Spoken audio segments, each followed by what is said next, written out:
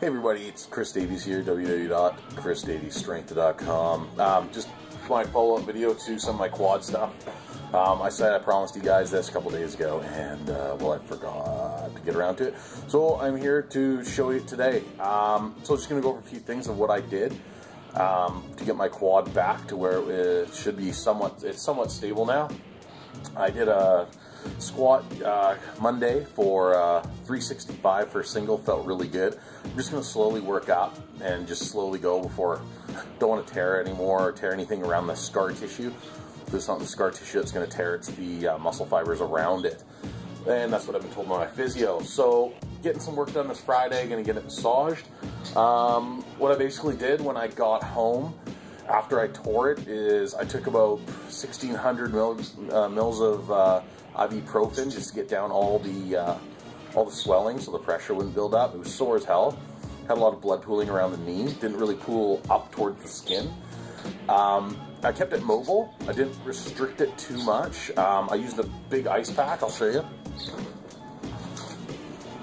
So I used a large ice pack like this and covered my leg with it and uh, I just keep icing it until I got it down, and lots of ibuprofen. And my wife just kept feeding me tons of food, lots of lots of protein-rich food, salads, anything just to keep the nutrients going, just to repair that muscle tissue as quick as possible.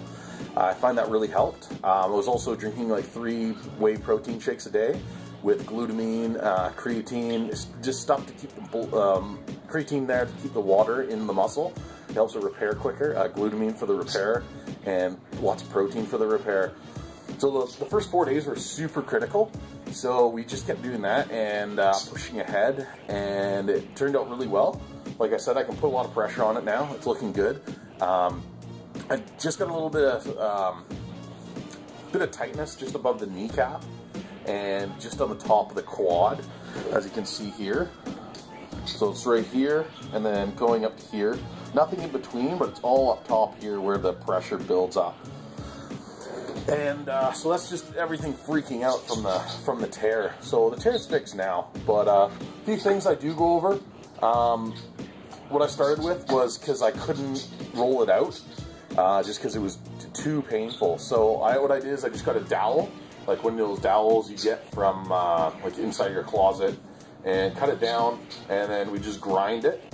So it's just normal grinding down like it would be with um, with a foam roller, except you control the pressure.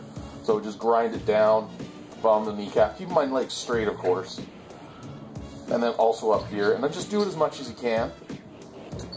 Just to get as much of the, uh, break down the scar tissue as well, right, in the early stages. Um, from that, I moved to the regular foam roller, where I can now do what I use now. So I've been doing this about twice a day, um, just breaking down the scar tissue. And then uh, we're going over the rumble roller, hopefully within next day or two. It's just, the rumble roller just kills it with the thing, but I mean, can't be a big wussy all the time, so I'm just gonna have to bear with it and do it.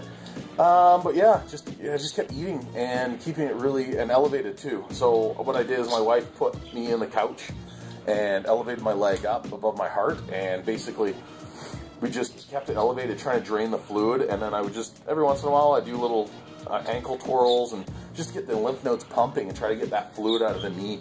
That was key uh, to just getting to repair because there's no need for all the swelling if you're here. Like, you just need to get the blood flow going again.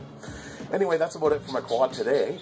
Um, anyways, I should have a squat video. And uh, so I did my deadlift finally after five weeks. I was able to deadlift conventionally.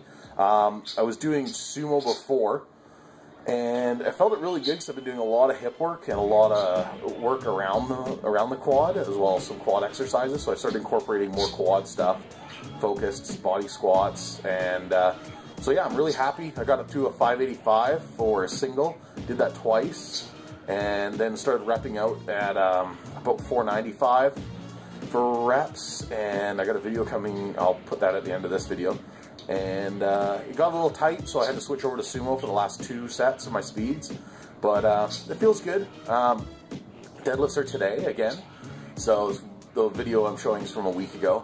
Uh, I'm going to try for around 600, 610 for conventional, see how that feels, and uh, keep going from there. I want to get back by the end of the month, I want to be doing at least 700 for two again. So it's coming along really well. Like I said, I got some uh, physio every two weeks. Uh, go there and they give me a good routine. So I got about probably eight or nine exercises I'm doing for that.